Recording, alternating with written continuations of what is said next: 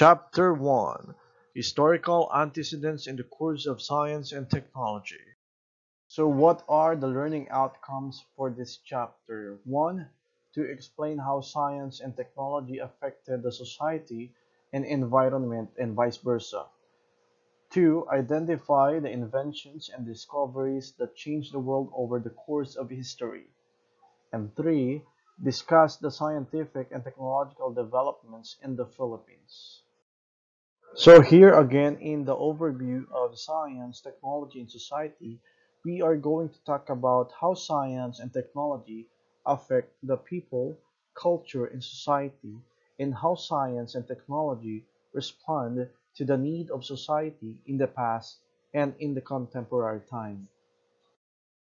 During ancient times, the most encountered problems were the following. Just remember the acronym TC Shamar. T stands for transportation and navigation. C stands for communication. S stands for security and protection. H stands for health. A stands for architecture and engineering. M stands for mass production. A stands for aesthetic. R stands for record keeping. During ancient times, there were problems in terms of transportation and navigation. Still up to now in our country, we still have problem and difficulty in terms of transportation, especially in highly urbanized areas like Metro Manila. In the past, transportation was significantly important still up to now. People need a mode of transportation for them to be able to travel to other places, to search foods if there will be no available foods on their current area, and to find new places for their safety if there will be danger. Also, there was problem in terms of navigations. It was very difficult for them to navigate areas because there's no ways yet in the past to direct them point to point, and maps were still not highly accurate and some roads were still unavailable. Next problem encountered was communication. There were no cell phone, satellite, internet yet in the past, and there's no common language yet. But today we have, such as English, Chinese Mandarin, and Spanish. In the past, it was very difficult for them to communicate. They were using signals like light reflection, fire, smoke for them to be able to make a signal to their home base, especially if there will be an upcoming danger or invaders. Also, they use pigeon as a carrier of information as mode of communication for them to be able to deliver a message in a faster and easiest way. To keep record was very difficult during ancient times. They were using mud clay for them to engrave records. There was also difficulty to transport each record because of its heaviness and fragileness. To increase in size and number of nations connoted increased demand for food and other basic necessities to produce foods in mass, to produce clothing in mass or other necessary things were so difficult in the past because they don't have the technology yet that we have been using today in the factory. Due to difficulty in mass production, there was also difficulty in producing weapons and armors for the safety of each nation or tribe in the world. If there will be invaders, it was very difficult for a small country or area to secure their tribes or nation. Stronger nations tended to invade weaker ones so they could take much needed resources. If a nation has a developed weapons and armors, it was considered a major achievement. To conserve life was one of the problems encountered during ancient times.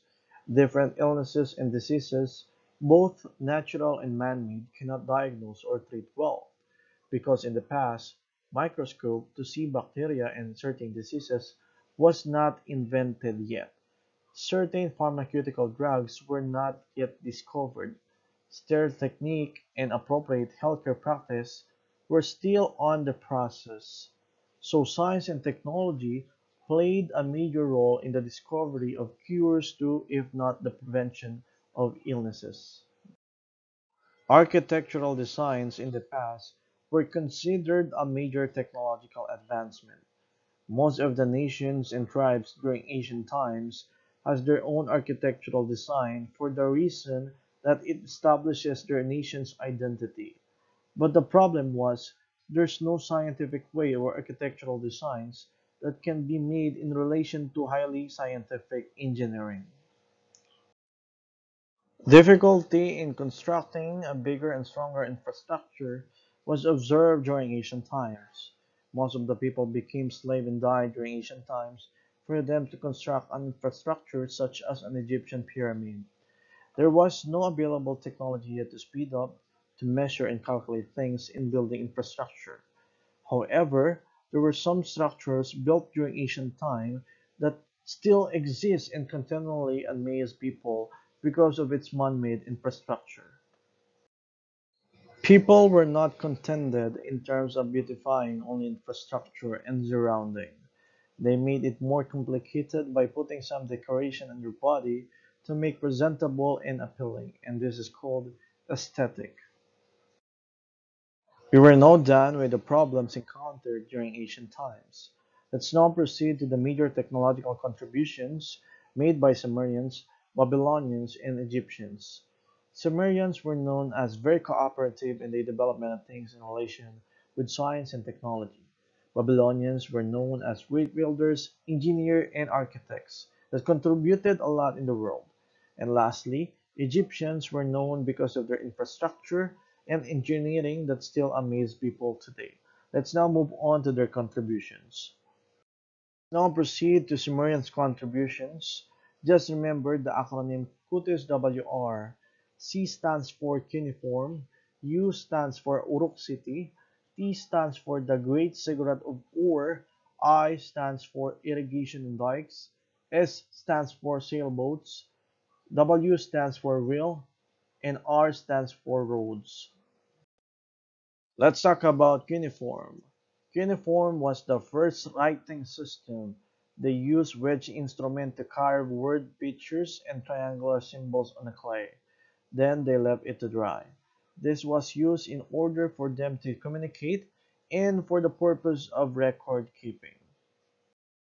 Next one is Uruk city, which was the first true city in the world. They built it using mud or clay for them to be protected from the harsh weather, wild animals, invaders for entering their territory. This was made to address the problem in safety and protection. Next, the Great Ziggurat of Ur was built in the same way Uruk city was constructed. The Great Ziggurat of Ur is also known as the Mountain of God. It can be compared to the churches that we have today. Next, they invented irrigation and dikes to increase mass production of foods. They also built this to bring water for farmland and to control flooding. This was invented for the purpose of mass production in terms of foods. The first mode of transportation was not wheel, but sailboat. They need this because people in the past cannot cross rivers and seas.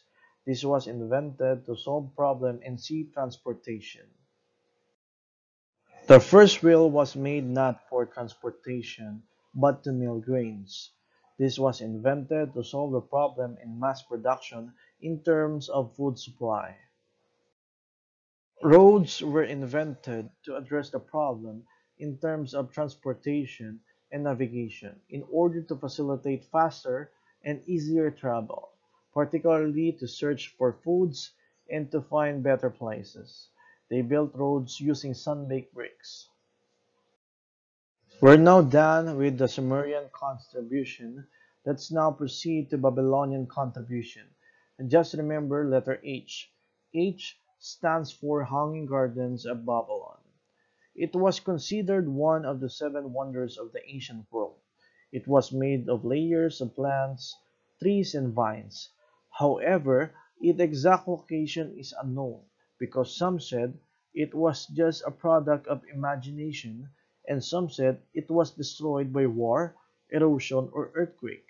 Hanging Gardens of Babylon was considered as the greatest engineering and architectural achievement of the ancient time that is almost impossible to replicate.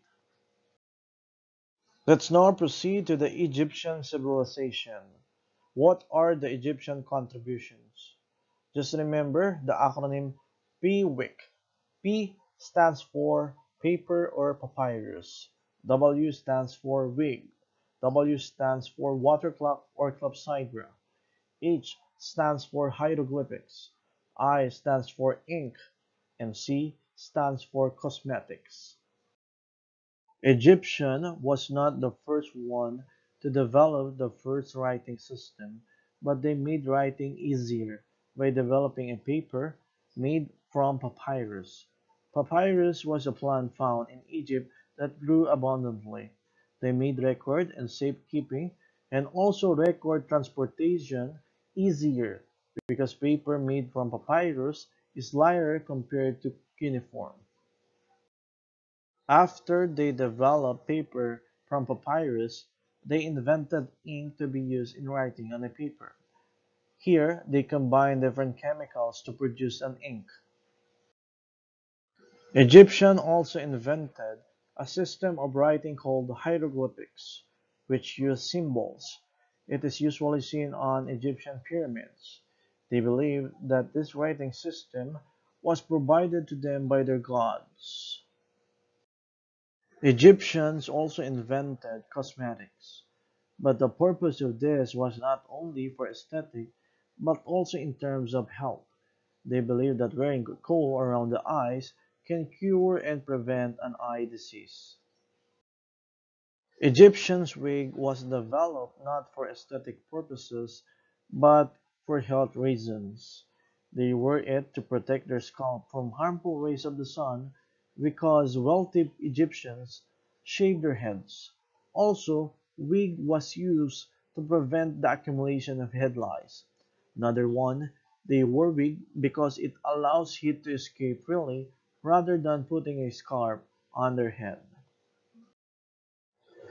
Lastly, they invented water clock or clepsydra. This device utilizes the gravity that affects water flow from one vessel to another. This was used to measure time by determining how much water remained.